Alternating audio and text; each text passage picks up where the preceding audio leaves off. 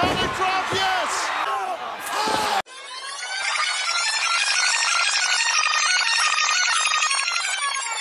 The Million Dollar Team vs. The Dream Team, WWE Survivor Series 1990. Undertaker started with Hart. Undertaker took him down with a one-handed choke. Neidhart went for a shoulder tackle on Undertaker, but he couldn't move him so Undertaker scooped him up and slammed him. Koko charged in, Undertaker avoided it and sent Koko throat first into the middle ropes. Undertaker picked him up and hit a tombstone that looked nasty. He pinned Koko to eliminate him. Valentine tagged in against Rhodes, who was no longer wearing the polka dots by this point. Hart tagged in and Valentine nailed a knee to the face. Honky Tonk Man was in there against Hart for a bit. He celebrated and taunted a lot. Neidhart nailed a power slam on Honky and pinned him.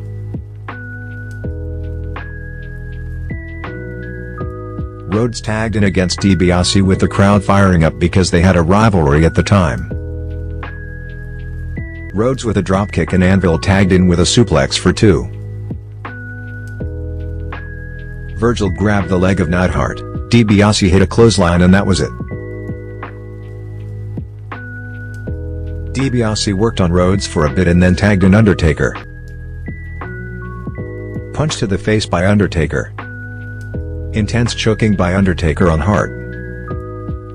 DiBiase back in there led to Hart nailing an atomic drop.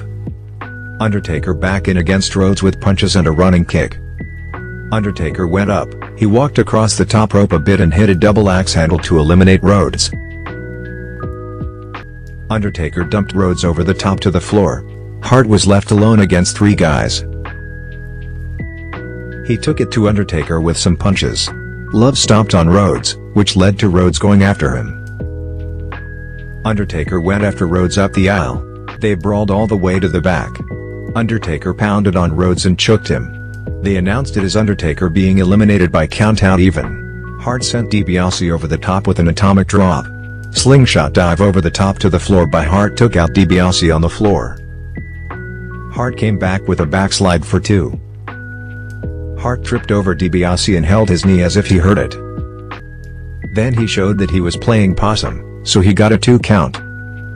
Virgil held Hart on the apron, Hart moved and DiBiase ended up knocking Virgil off the apron. Hart got another roll-up for two.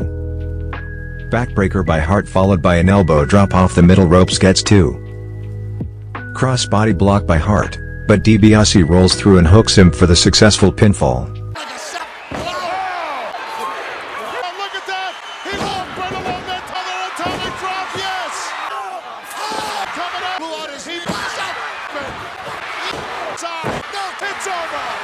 Well, that's all we have for you today.